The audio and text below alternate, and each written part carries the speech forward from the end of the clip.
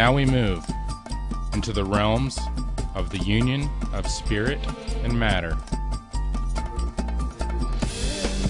It's time to make our divided selves whole again. Separate the earth from the fire. Solve et coagula.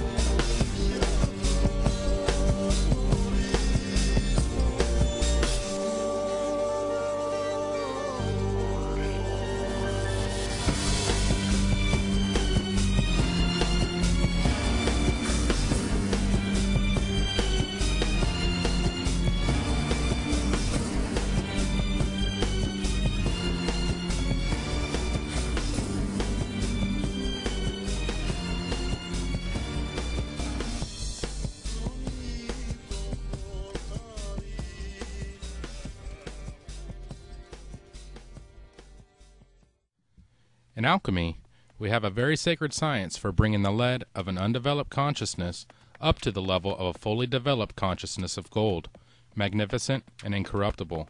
In this, one can see past the allegory of symbols and cryptic artwork commonly associated with alchemy. The great work is filled with some of the most spectacular symbolism ever created and seen in our time.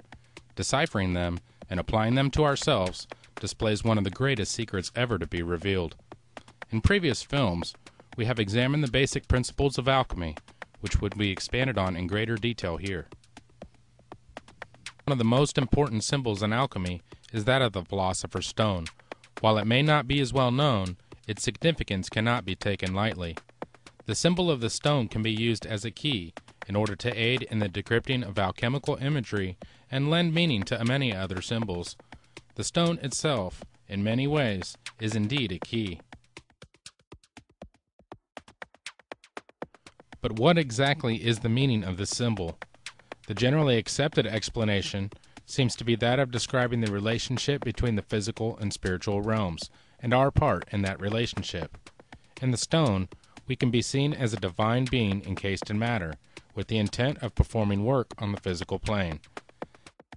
This work is nothing short of being able to exist beyond the material world, a consciousness perfected as a stone by doing the work needed to achieve it the great work. By working with the constituent parts represented by this symbol and bring them together as a whole, we come into union with that which is the whole, the One. We will now go through some basic aspects to understand the process of the great work, which began with the One, or as it's sometimes referred to as the All. Please take note as we begin. This is not about religion or established dogma or creed, this is about advanced spiritual science, pure and simple. Therefore, when we mention the One or the All, it may or may not be directly referring to deity, but rather to the creative force which encompasses all that is and is not. The One is everything, every potentiality, every outcome. It is the divine principle and prima materia. The One is Alpha and Omega, the beginning and the end of the great work, and in this is sometimes represented by the Ouroboros. This is one of the most perplexing and fulfilling aspects to fully understand, and many of us spend a lifetime attempting to do so.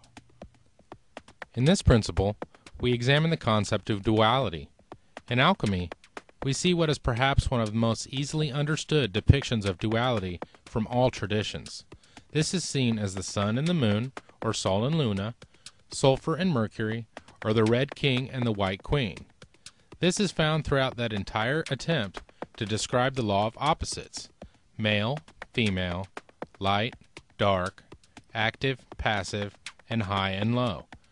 In Eastern traditions, we see this as yin and yang of the Tao. Surely, aspects of the nature of duality are no accident or coincidence. These are sometimes represented in alchemical imagery as two opposing dragons. One is winged or volatile, one is wingless or fixed.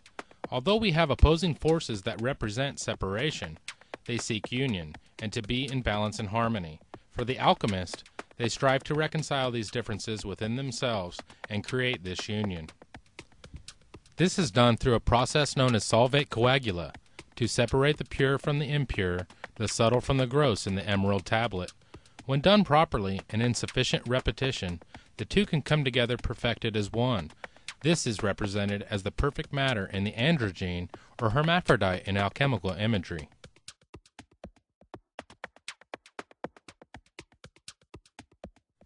Alchemists see this principle as tria prima, or the three primes.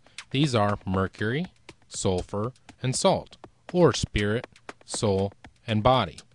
When the two opposing principles of sulfur, masculine, and mercury, feminine, come together, we get the salt or body, which brings together and reconciles these opposing principles within it in order to exist on the material plane in physical form.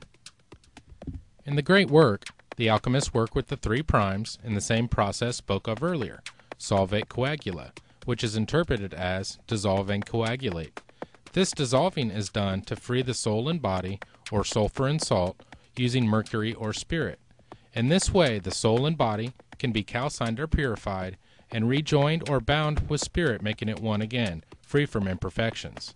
All things which exist contain these three principles.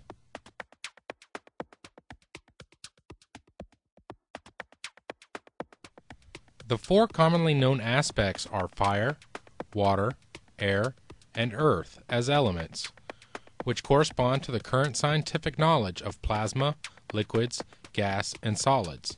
In Kabbalah, these are known as Yod, He, Vav, He, or Jehovah. The fire is our will, the life force or chi as it is seen in Eastern traditions. The water is our emotions and describes how they can easily flow from one temperature to the next when not under control. The air is our intellect, and the earth is our body or matter here on the material plane. These four aspects encompass many things and can be used to easily identify areas of our personality which needs refined and how. Balance between these aspects is the key, and when one aspect is lacking, it can be balanced with another as an opposite. All of this builds towards a fully integrated self, capable of refraining from one extreme of the spectrum. In alchemy, the concept of spirit is seen of having great importance. It is viewed as the fifth or additional element to the original four. Modern science at some points accepts this concept and views the fifth element to be what is known as ether, whereas the alchemist knows this element as the quintessence. The quintessence is not only the glue which binds all elements together, it is also seen as what keeps the elements independent of each other. In Kabbalah, this is also known as Shin, which has a quality of fire, and is generally placed right in the middle as Yod, He, Shin, Vav, He. Now that we have reviewed some of the basic alchemical concepts, let's move on and delve deeper into the process. Although alchemical processes can be applied to a variety of things, this film is primarily focused on the alchemist him or herself being the experiment. This is solidified under the credo as above, so below, which is essentially describing the relationship of the macrocosm to the microcosm. Consider sacred geometry using the Fibonacci series which produces the same shape in both pine cones and galaxies. With this, the alchemist can work with things on the material plane and learn more about the properties of the spiritual plane or vice versa. The great work begins in the stage known as nigredo, or the blackness. With our consciousness as the prima materia is where we find ourselves in the current condition, as the lead in the alchemical allegory. With spirit, we can dissolve and place our prima materia into the Athanor or chemical furnace and begin the calcination process, and eliminate any energies which may be blocking growth. Nigredo can be a very powerful stage, as it often signifies a point in one's life where a spiritual evolution is necessary or imminent. It is unfortunate, however, knowing that the material plane cannot fulfill and the seeking of spiritual truth is an inevitable and required event. In the illustration, take note of the black crow or raven in the setting, signifying undergoing the stage of nigredo. This is a very personal time, where you may begin to look deep into the soul, no matter how uncomfortable it may be at first. There is some debate about if the next stage, known as the cauda pavonis or the peacock's tail, is actually placed after albedo or nigredo. Perhaps it may be different for some individuals. However, for the purposes of this discussion, we will describe this stage here. Out of the whiteness, clarity begins to occur, and the alchemist can experience all of the aspects of the whiteness as one because unity is found. as Isaac Newton showed us with his prism work, that whiteness that enters from above and can be broken down and seen in all of its brilliant display of colors. We, as divine beings, are the prism. This may be a euphoric experience for the alchemist, as new energies and knowledge not previously experienced come into play. When the peacock's tail emerges and the discipline is established, it signifies the alchemist is entering the next stage, known as albedo. To experience and understand the following stage, known as albedo, one generally must have fully immersed in nigredo, having looked deep within themselves. The source of all existence appears through the void and is seen as a whiteness or a bright light. This occurs due to the understanding of unity in all polarities and is seen as the One. In this, the alchemist knows the source from which everything sprang and is aware of the real beauty of the spiritual path in becoming this unification once again. As was mentioned earlier concerning the two opposing forces, this can be seen as the hermaphrodite or Mercury, which is spirit. Spirit has no gender and is associated with pure consciousness. As albedo continues, spirit begins to coagulate with matter, and the volatile is becoming fixed. This is done when our conscious mind peers deep into the subconscious and brings it back to the conscious mind to be observed. Spirit is entering the soul, purifying and coagulating to become solidified and constant in our life. This is when we actually begin to work with spirit and put to action on the material plane, culminating in the formation of the diamond body. Similar to the resurrection of Christ, this can be seen as a solid body of light, purified and incorruptible. These have merely been brief descriptions of alchemical stages one may experience on their path and is primarily intended for providing reference for further material at a later time. Hopefully, this has given an adequate review for some and a summary for others. Some of you are practicing alchemists, and some of you have only just discovered the art. One of the most beautiful aspects of alchemy is that it doesn't matter what stage of development you are currently experiencing. It will take your temperature and prescribe you a most relevant remedy. At this time, it is appropriate to mention one of the reasons for secrecy in this sacred art. If you are seriously considering undertaking the great work, please keep in mind that this is not a journey for the weary. One should take into account the things being said here for developing in a healthy and balanced way. This is important for several reasons, especially of which concerns your health and the health of others. If you are not ready to face what may be sitting dormant in your subconscious, then you should proceed with caution as they will without a doubt emerge through the alchemical process. Alchemy is able to take you where you need to go, but you need to be ready to go there and confront them once and for all. This may seem trivial at first, but it needed to be said so there can be understanding of the road ahead.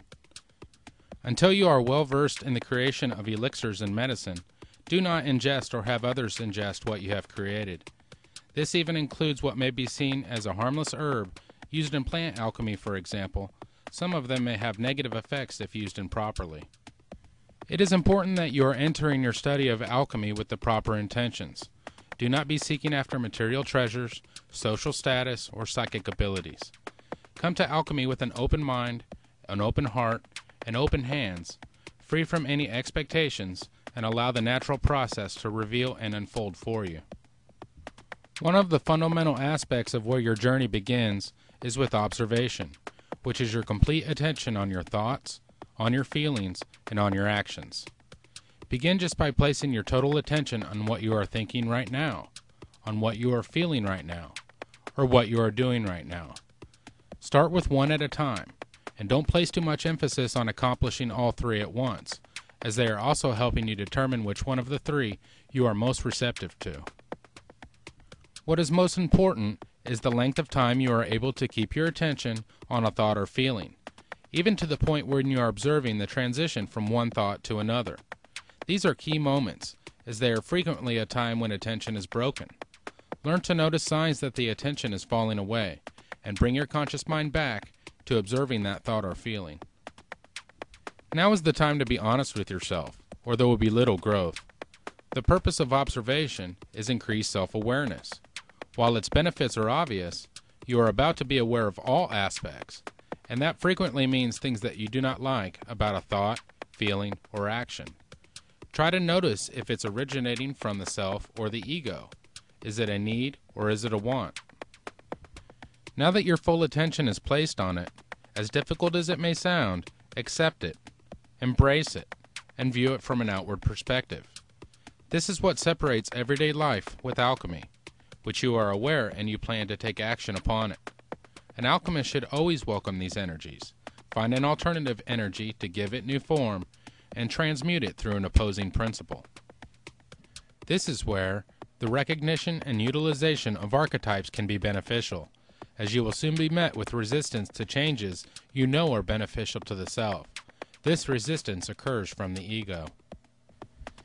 This may be one of the first times that you have allowed illumination of consciousness onto your ego personality, and as you can imagine, it is beginning to feel a bit threatened. The ego is a survival mechanism which is built in, and in many cases really does feel it has its best intentions in mind.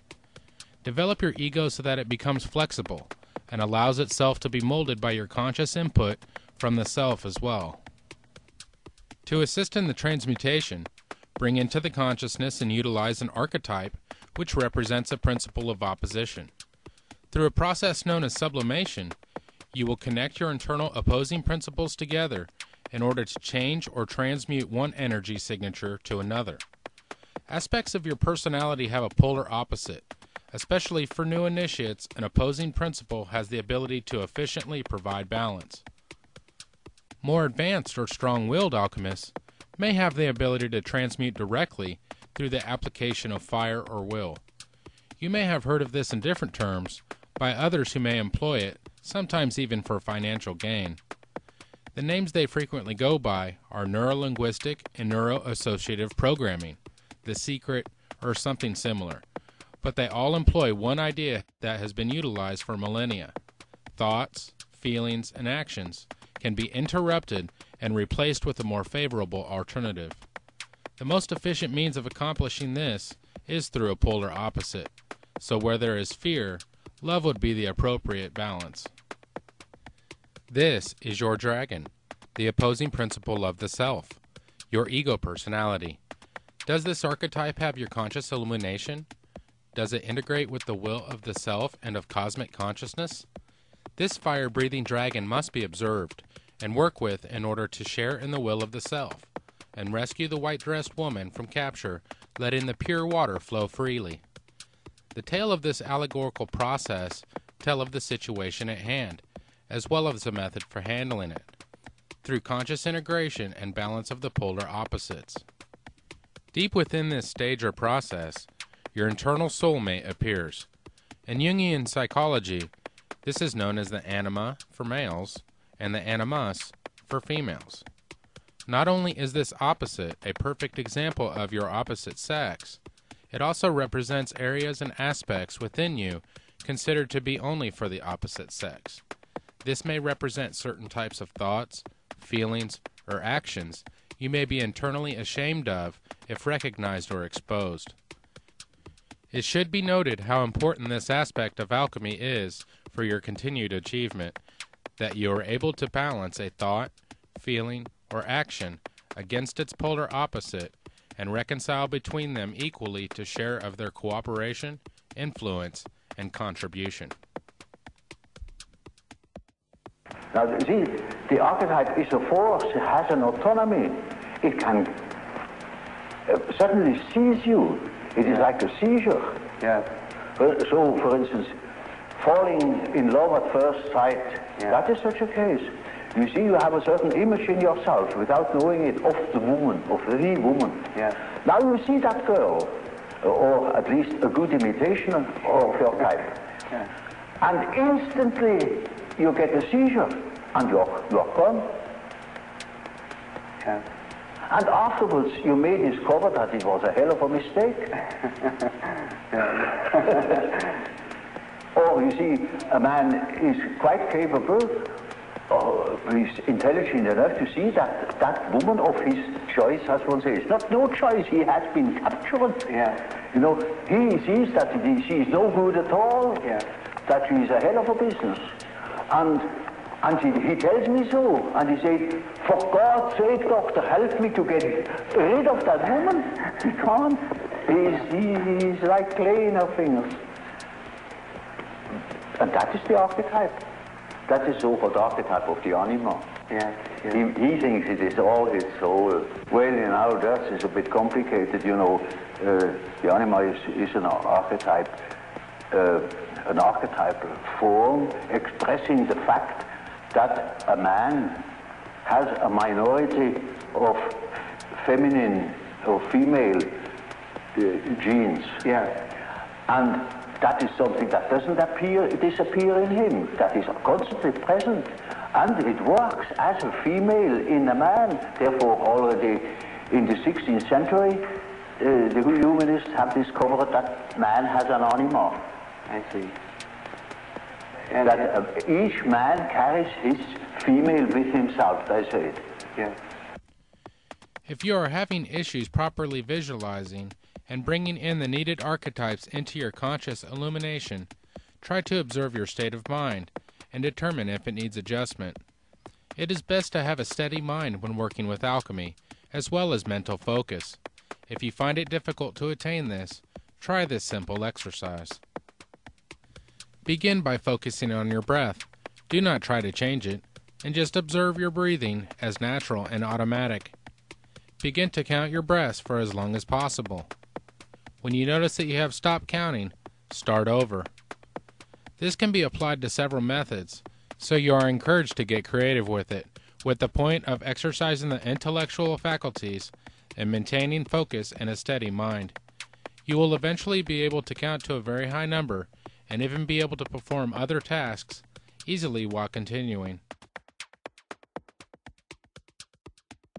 Let's begin to address some of the things which will begin to occur within the energy system or subtle body of the alchemist.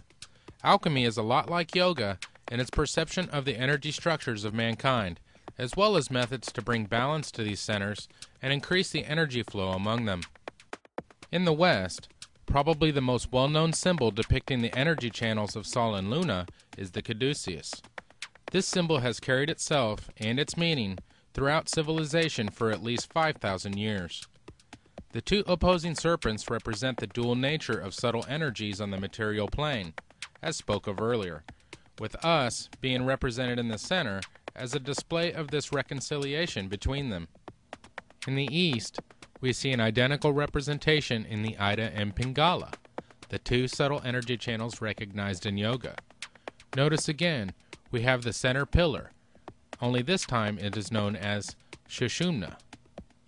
In addition to alchemy, the West has an additional corresponding system in Kabbalah, where we have the left, right, and middle pillar.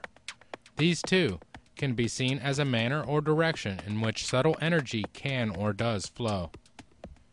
Traveling down the tree of life or sephirot, this is the descent, so spirit can become coagulated with matter. You will see that nearly all teachings have to do with traveling back upward. However, the intent should not be to reject the matter or material plane, but to simply raise it up with you on your journey so matter can once again become spirit, a return to the source. In this way, a fully realized soul can become fully integrated with spirit and still exist on the material or earthly plane. You will also see this in Eastern traditions, where spirit enters the crown chakra, descends through the elementals, and comes to rest in the base or root chakra, and for many remains there. So in the East, the goal is to raise the matter or body back up to the crown chakra, gaining the highest level of consciousness. This process is the same in alchemy, of course, where the lead is the base or root chakra, and through mastery of the physical, mental, emotional, and spiritual planes, one can raise their consciousness to the level of gold through the process of spiritual alchemy, which is done primarily through the application of heat, fire, or shin. As the energy rises naturally and begins to flow uninhibited, the perfect matrimony can occur, and is all about the mystical union. As you can see from the chart, the middle pillar stands as your mode of balance between forces. If you are male, balance your fire with water, and you will be air. And for females, balance your water with fire, and you will be air. In the elementals, When fire and water combine, you have air or vapor. Taking this path up the tree is the middle path. Not the left hand, not the right hand, but working in balance with the forces of nature and creation. All paths eventually lead to one destination. However, taking one polarized path can lead one through vices, hardened materialism, and thorns, while taking another polarized path can lead one through the clouds, high above and forgetting the importance or even in some cases even hating or despising our material existence. One who is watery in nature may have a difficult time with intellect, and one who is fiery in nature may have a difficult time with emotions. The middle path allows one to walk with their head in the clouds with their feet planted firmly on the ground. This is a highly spiritual nature, with grounded understanding of the importance of who we are and why we are here. This is a perfected union of spirit, volatile, and matter, fixed, often depicted by the androgyne or hermaphrodite. Depictions of this is also seen in the Tarot, as the High Priestess, which corresponds to the hidden sphere of Daath on the Tree of Life in Kabbalah.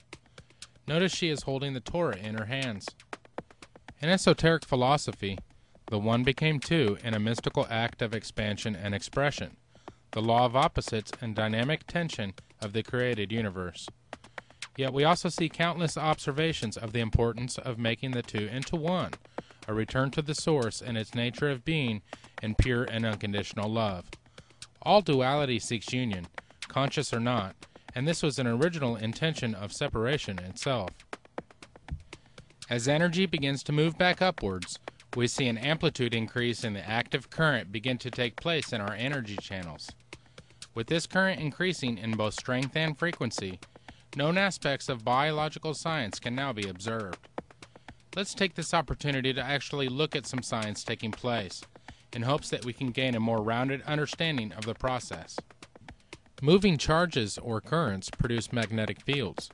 A constant current produces a constant magnetic field, while a changing current produces a changing field. We can go the other way and use a magnetic field to produce a changing current, as long as the magnetic field is changing. This is what induced EMF is all about. A steady changing magnetic field can induce a constant voltage, while an oscillating magnetic field can induce an oscillating voltage. We should keep in mind these two facts. An oscillating electric field generates an oscillating magnetic field. An oscillating magnetic field generates an oscillating electric field. These two points are the key to understanding electromagnetic waves. An electromagnetic wave, such as a radio wave, propagates outward from the source at the speed of light. This means in practice that the source has created oscillating electric and magnetic fields perpendicular to each other that travel away from the source. The E and B fields, along with being perpendicular to each other, are perpendicular to the direction that the wave travels, meaning that an electromagnetic wave is a transverse wave. The energy of the wave is stored in the electric and magnetic fields. As human beings, we have a polarized nervous system, known as the parasympathetic and the sympathetic. It is a closed-loop electrical system to carry signals to and from the brain, other organs, and glands. As we have just learned, an oscillating current creates oscillating magnetic waves, and a constant current creates constant magnetic waves. This electrical system is dipole. Like a magnet itself, the field maintains a similar shape to what we see with iron filing experiments, a torus-shaped electromagnetic field. Being grounded can therefore have an even more literal meaning, as attaching an energy channel's ground will complete the circuit, allowing for current and frequency of the wave to take shape. Just above the nervous system is found the pineal, which has a positive polarity, and the pituitary, which is negative. Once sufficient signal amplitude and activity level is reached in the nervous system, the EM waves of these two glands overlap. This creates a closed circuit between them and in return another torus-shaped electromagnetic field, which is the Ajna chakra or third eye. This brings ethereal energy into a sense organ not normally stimulated in such a manner and increases the sensitivity and reception to the frequencies now available. Theories have begun to arise about the electromagnetic field of consciousness, and how it is connected to our physical body. There even seems to be some consensus in the scientific community as to these claims. If it is true that our consciousness is electromagnetic in nature, it will enable science to move forward into the research of metaphysics. In consideration of this discussion, why is all of this important to alchemy? Something occurs within the alchemist at a certain realization that we actually have the ability to manipulate the reality around us, even if in a subtle way, perhaps even by affecting the reality on the smallest of scales. Today, these phenomena are known in quantum mechanics to be a multitude of potential outcomes in relation to a system of observable probability. In scientific terms, it's called quantum indeterminacy. In 1937, an alchemist named Fulcanelli said, All the same, I can say this. You will not be aware that in present day official science, the part played by the observer becomes more and more important. Relativity, the principles of indeterminacy, demonstrates to the extent at which the observer today intervenes in all these phenomena. Fulcanelli was without a doubt speaking of the aspects we see in quantum physics today as being verifiable. Much of the talk today seems to validate what the alchemist did, especially in regards to higher consciousness. As you can see from the images, the higher the frequency of the EM waves, the more it is harmonic and resonates with the atomic nuclei and beyond into quantum levels. This is where all the magic happens in quantum mechanics. There are particles which seem to come in and out of existence, or transform seamlessly to and from a wave. It appears when consciousness is powered by a fully active subtle body system that it has more effect on quantum indeterminacy. We indeed may be on the very brink of lending scientific credence to what has long been held to the alchemist or similar traditions that the observer, or the alchemist in this case, can affect the outcomes on a quantum level. The process thus far has been all about self awareness, which continues in its development as albedo moves into rubedo, and the consciousness which was originally volatile is becoming fixed. The etheric body is starting to be transmuted into the full light body. The flame of self awareness is beginning to move down through the head into the middle and lower centers. Depending on a particular alchemical path, your focus may have been for it to enter the heart, and then the etheric rose comes back out of the heart center and enters the head center, illuminating the area between the pineal and the pituitary. This is one of several similarities between Christian and Rosicrucian traditions, when the focus of self awareness occurs through the opening of the heart with unconditional love this is a devotional path. For many traditions in the East, the path generally has more to do with the hands, or actions. We see this in aspects of karma, and that the proper action can help to aid in the free flow of energy through the channels once again. These make up the three major energy centers worked with in most traditions. Even though some may have more prominence than others, nearly all have the goal of bringing in etheric energy and illuminating all of the centers eventually. When you have done your work with the needed effectiveness and sufficient energy passes through these centers, the blackness turns to whiteness, and you have entered albedo and are entering the unity of the self, finally becoming whole. It was mentioned previously that consciousness could very well be electromagnetic in nature and could explain why the etheric body is charged when more energy is allowed to flow freely. This may also be responsible for not only what is known as auras to be more visible, but also allow one to see others' auras more clearly when taken into account the Ajna chakra. As the etheric body makes up our consciousness, it is affected by these changes in a most spectacular way. Lucid dreaming, astral travel, and OBEs may become very frequent occurrences. Your consciousness is energizing and solidifying, becoming intricate, complex, and literally hardening into a stone. This stone is the key few are blessed enough to find each century, for it unlocks all doors. The ability to move the consciousness into the light body is a fundamental aspect of the Philosopher's Stone and is steeped and cloaked in the mysteries of eternal life. Because the consciousness is hardened into a stone and body of pure light, as the original physical body may fail, the self awareness is eternal. This is the stone, in all of its glory. It is the holy grail so many seek out with their heart. If you recall when we discussed the symbol of this elusive stone, we spoke of it being able to help a new initiate in decoding the alchemical imagery. Very quickly, you will gain an inner knowing of the different symbols and their meanings. However, an intellectual understanding lays an important groundwork for making associations in the consciousness. As you are most likely beginning to notice, the knowledge of the process and the imagery display an unmatched form of communicating details of such a subtle and spiritual science. The entire process is summed up with one image, and it's doing its very best to describe a result. Describing what occurs when one gains the stone is not possible with human words or functions. However, it can be experienced on a personal level in a way that could never be spoken or written about. Your journey began in the blackness of Nigredo, yet here you are, having allowed your spirit to dissolve and then coagulate until albedo has given way to rubedo, the redness. This is nearly the completion of the great work, and the opposing principles within you are fully reconciled. Do not be surprised or worried if you take a step back along the way. In most cases, it is for the better, and passing through these stages is much easier the second time. After you have reached this point, remember, one door opens many, and although your journey has required endurance, there is something major at the forefront of your soul and consciousness. The journey is not over. There's still one union that makes up the true purpose of them all, and is the completion of this alchemical genesis. It is now time to come full circle and experience the true source of all and return to it when it's time.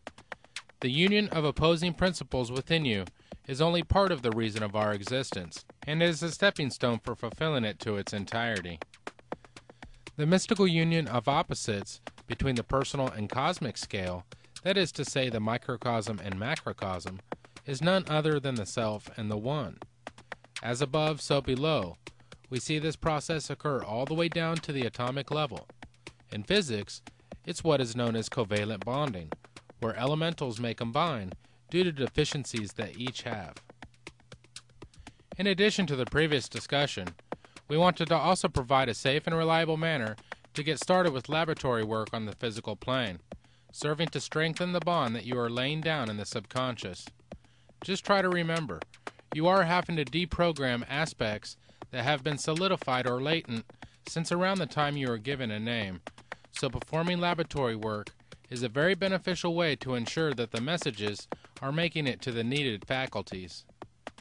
There are a couple types of physical alchemy to work with, as well as many methods. For the purposes discussed here, we will not be going into any advanced work. It would require a great deal of precautions and go beyond the current scope of things. In what is known as mineral alchemy, you have what correlates to the advanced stages of alchemy, known as the great work.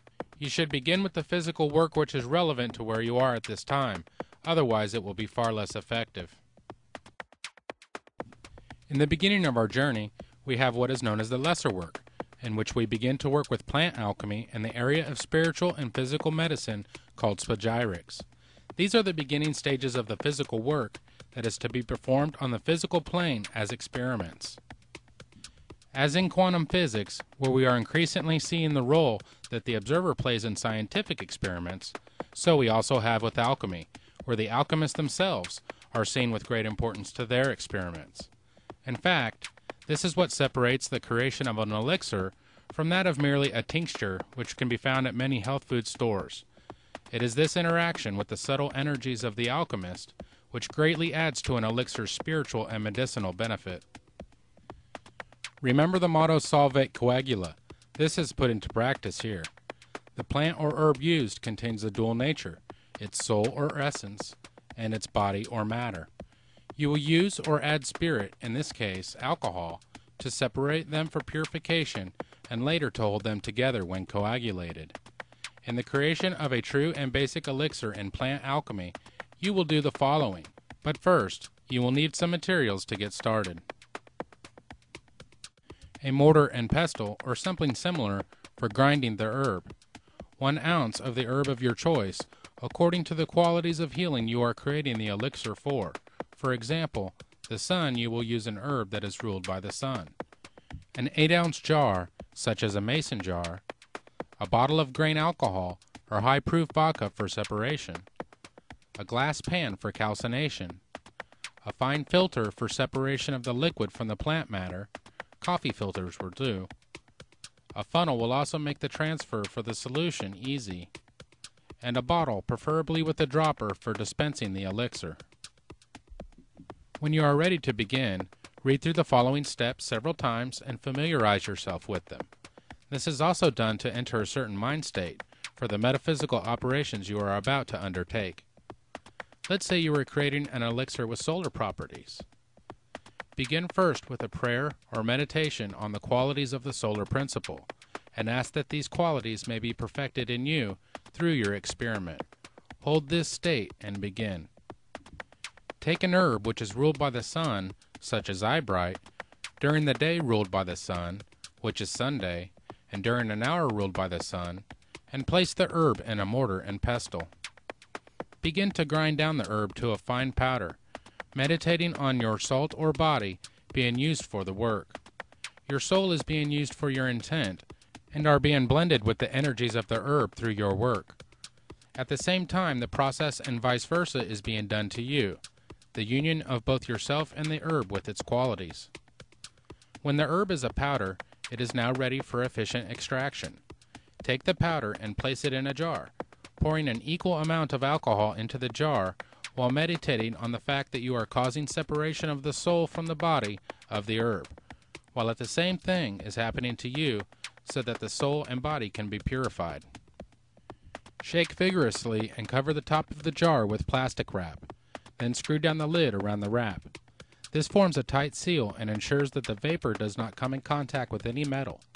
You can also use rubber bands if no lids are available. Place the solution somewhere away from sunlight and allow sitting for at least two weeks, or even better, use the alchemist month of 40 days. Switch the jar around every few days to ensure proper penetration of the spirit being used. After sufficient time has passed, the soul of the herb will be fully dissolved and suspended in spirit, and the dead matter or caput mortuum can now be separated and purified as a salt. Place the filter into a funnel or use the corner of a plastic bag and begin to pour the solution out of the jar and into a bottle. To be the most efficient, you may want to place the soaked plant material into the filter and wring out any remaining solution. The solution should be a dark color, with most of the bright green color having faded away, the impurities left behind of the soul attached to the matter. Be sure to properly label your elixir and then store away from sunlight. You now have a solution of the plant soul suspended in spirit, and it is time to perform calcination. This is done in order to purify the salt or body so it can be rejoined with its soul. Throughout this process, you have been closely observing the stages that spirit, soul, and body have been working with the plant. Through resonance, you are attuning to these stages yourself with your subtle energy. At the same time work is being performed below, it is being done above as well. Remember, you are in Nigredo and beginning to look at the constituent parts of the whole individually. To begin the next stage, it is good to have adequate ventilation, or even better, perform the task outdoors as smoke will be created. On the appropriate ruling day and hour of the herb, put the soaked plant material on a fire-safe glass pan or similar container, then place your fire or will on the matter. The spirit will act as a fuel and ignite the calcination process, quickly blackening the matter. Meditate on the aspect of placing your consciousness on your impurities. Stir occasionally with a metal rod or butter knife until the spirit has burned off and the matter is dry and blackened.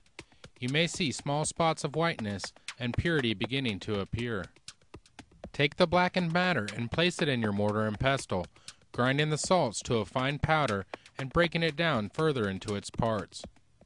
Place the powder back in the pan and drip a small amount of spirit or alcohol on it and place fire against it again, allowing it to calcine as before. Repeat this process as needed until the powder has become as white as possible. Observe closely during the calcination process and meditate on our previous discussion concerning applying heat to ourselves. This helps burn off impurities of the soul and body during nigredo, until we begin to see the whiteness appear through the blackness and enter albedo. The pure white salts can now be stored away from sunlight and are ready to use. Again, be sure to label appropriately. If you are ready to complete the process and begin taking your elixir, begin on the ruling day and hour for the herb being used in the elixir, and place a pinch of the salts in a spoon.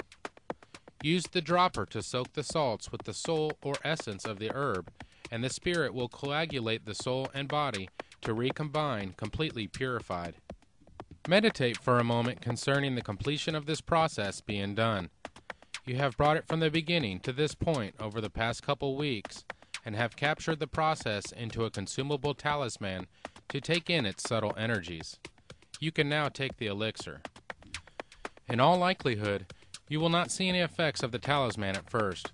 Alchemical or spagyric tinctures are very subtle. You will see the benefits quickly of anything related to the physical properties of the herb being used. However, the spiritual properties may begin to manifest in other areas, such as meditation or dream states first. The important thing to note is that you have fully begun the appropriate process for initiation and started to awaken your subtle faculties. To help you develop in a balanced way, it is suggested that you create an appropriate tincture for each day of the seven days prior to beginning taking them. This is most easily done by having all of your supplies together and creating them one per day, each day, beginning with Sunday. As stated previously, you should have a working knowledge of the herbs you plan to use in your elixir. If you would like to get started with the ones shown here, which are safe unless you are pregnant or nursing. Their names are as follows Eyebright, a memory aid and anti inflammatory. Watercress, an antioxidant, an expectorant, and digestive aid. Watercress also has anti angiogenic and cancer suppressing properties. Basil, an antioxidant, anti cancer, antiviral, and antimicrobial. Basil also reduces platelet aggregation. Fennel, a gastrointestinal tonic and anti-flatulent. Lemon balm, an antibacterial and antiviral. Passion flower, a sedative and analgesic. And horsetail, an antioxidant. As you can see, aside from the subtle and etheric effects on your consciousness, you have something quite amazing in the physical properties of these herbs. One can clearly see the benefits of this particular selection and how the ruling planets balance out the effects and create a truly synergistic medicinal framework. It is recommended to go ahead and begin the creation of tinctures when you start the process spoke of earlier. When you are working with laboratory alchemy, such as in the creation of tinctures and elixirs, it is very important to bring into conscious focus the spiritual work being done. At the same time, when you are working on inner development, try to also focus on the work needing to be done on the material plane. The inner and outer work are to coincide with each other. Keeping this aspect in mind will aid in the ability to experience a mystical union. As above, so below, this correlation will never falter. Keep in mind that we have only gone into detail concerning the initial stages, and there is much more to learn about the great work. It is simply too extensive to cover in one setting, nor would it be beneficial. Alchemy, as well as alchemical aspects of similar traditions, is all about the process, and this rings true in nearly every area of the art. The great work is just that. Many times is a lifelong pursuit, and is written about by the many who have come before, describing its level of commitment. As the ageless alchemical motto reveals, pray, study, read, read, and read. It is our hope that we have at least provided somewhat of a systematic approach to spiritual alchemy and provided some of the tools needed to begin in the great work. You have learned a few of the key steps to begin working in the art and how you can utilize it on a practical basis. As we move towards the mystical union, we see the true beauty that alchemy is in its wholeness and essence. Will you take up the challenge that alchemy presents to you? The world needs more individuals rising to the occasion to transmute themselves to a higher form of existence, and to help others do the same in whatever capacity possible. A skilled alchemist can transmute within their sphere of influence. However, many of us can truly perform a global transmutation through application of spiritual alchemy on a larger scale. Therefore, remember as we grow on our journey and our path, let's try to always be in service of each other at the same time, and we will all grow together.